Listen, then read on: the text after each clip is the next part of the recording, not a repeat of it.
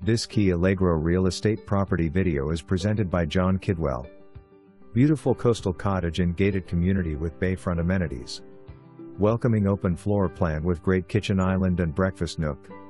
Wonderful wrap-around deck porch in front, a private back porch down and a tree-top deck in the back.